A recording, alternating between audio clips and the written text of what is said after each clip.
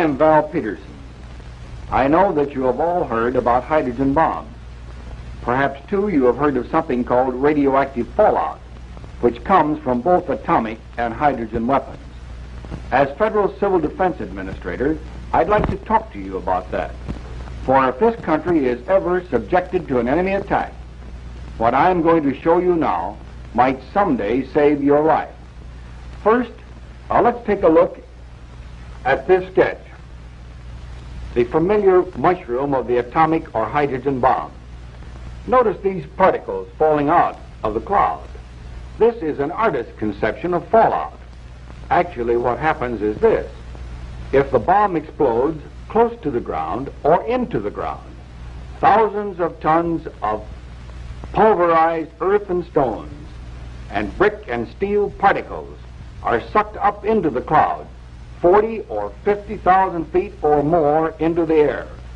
These particles become highly radioactive. Much of this material spills out of the mushroom cloud around the point of explosion.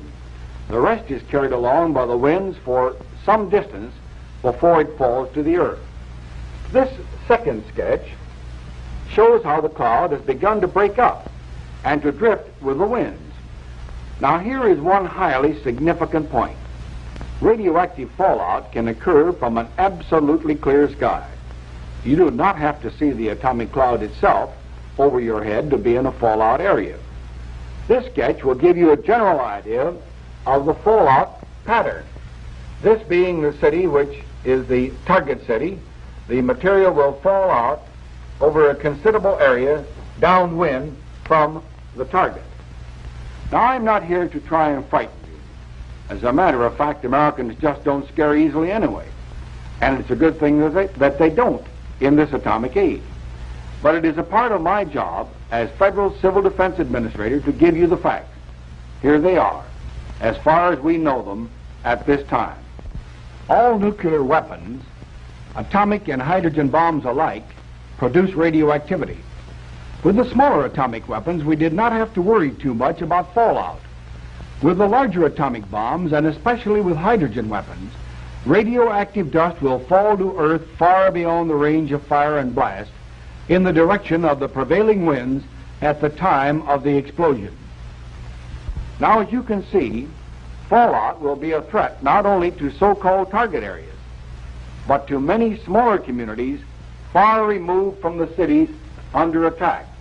And in fact, to every farmer living within the area, downwind from the target area and over the distance that the wind may carry these radioactive particles. As a matter of fact, the communities that lie downwind may very well have to withdraw their people from the danger zone laterally, and there will be time because radioactive fallout takes a considerable time uh, to occur. Or the people will have to get into shelters uh, of some type or other. Or we may have to do these two things somewhat simultaneously. Now I won't mince words with you. If you happen to be caught downwind in the path of the fallout and without any shelter, and if you don't get into shelter just as rapidly as you can, these radioactive particles could cause your death, or they may cause you serious injury, depending upon the degree of contamination and other factors. So much for the threat. Now, what are we going to do about it? We are still learning things about the behavior of radioactive fallout from the larger weapons. But for the present, we do know enough about the size and power of modern weapons and the radioactive waste they produce to begin planning how we can best protect ourselves. Basically, there are only two things you need to know how to do to protect your life. One is to evacuate your city before the bomb falls.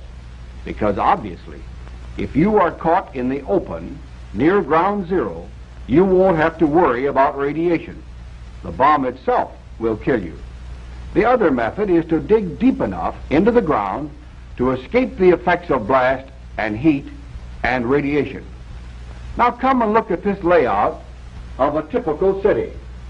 Let's say that right here is the assumed aiming point of enemy bombers, and that the Weather Bureau tells us that the winds will probably carry radioactive fallout downwind in this direction. When we speak of the winds, incidentally, and of the H-bomb, we're talking not only of surface winds, but also of the winds high up, 25, 40, and 50,000 feet above the earth. Those are the winds that carry the major portion of radioactive material from the bomb cloud. Well, up to now, the picture looks pretty bad. But with enough warning and enough practice in peacetime exercises, many millions of lives can be saved that surely would be otherwise lost. Now let's take another case. Suppose you live in a small town, squarely in the path of the radioactive fallout. The further away from that bomb you are, downwind, the more time you will have to get out. Radiological monitors will have set up warning systems, and evacuation from the towns in the probable fallout zone will be carried out on a lateral basis. Suppose now that you get little or no warning, or that your own evacuation route lies downwind. Almost any kind of shelter can reduce the danger of radiation. An ordinary frame house like this, outside the area of blast and fire, will provide some protection. A basement shelter will provide even more, while a simple underground shelter with three feet of earth covering will give you virtually complete protection from lethal radiation.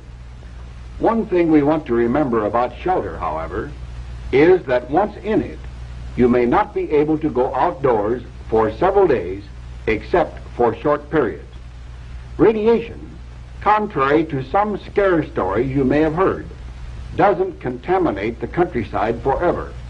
Its lethal strength dies very rapidly, sometimes in a few hours. But it might be a couple of days or even longer before it would be safe to leave your shelter altogether. For some time we have urged that every family that possibly can build a basement shelter or an outdoor shelter if they live in the so-called fringe areas of our major cities. Today, with the danger of radiation fallout over long distances, it is equally important that residents of suburban and rural areas, many miles removed from major cities, also build shelters.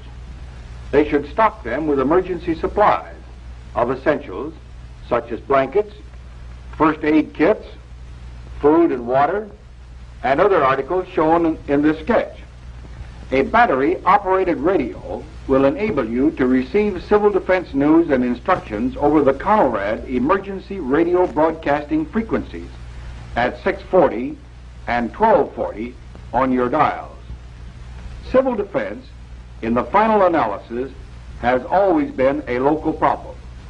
Some areas, for instance, could be evacuated practically around a 360 degree circle. In other areas, such as this one, where a city has an ocean on one side and may be surrounded by rivers, evacuation problems will be far more difficult.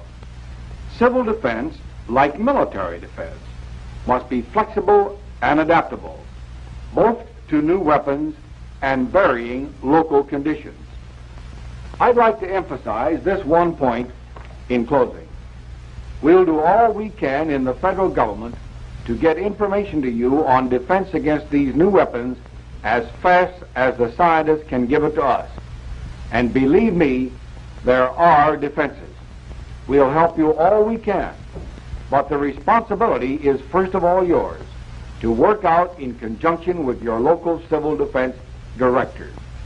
Cooperate with him by participating in evacuation and shelter tests, by taking first aid and other civil defense training, Help that civil defense director of yours all you can. He has a big job, a job that could save your life, the lives of your family, your neighbors, the life of our nation. Thank you.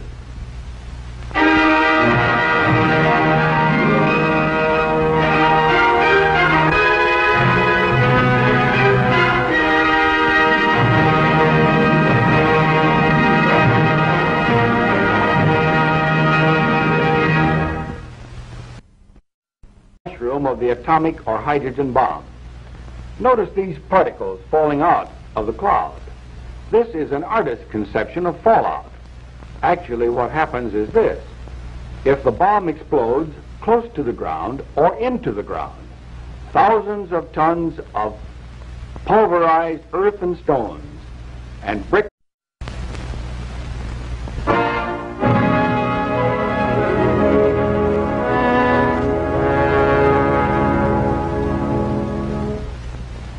Val Peterson. I know that you have all heard about hydrogen bombs. Perhaps, too, you have heard of something called radioactive fallout, which comes from both Earth.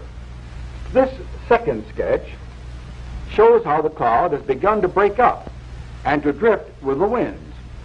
Now, here is one highly significant point. Radioactive fallout can occur from an absolutely clear sky. You do not have to see the atomic cloud itself over your head to be in a fallout area. Atomic and hydrogen weapons. As Federal Civil Defense Administrator, I'd like to talk to you about that.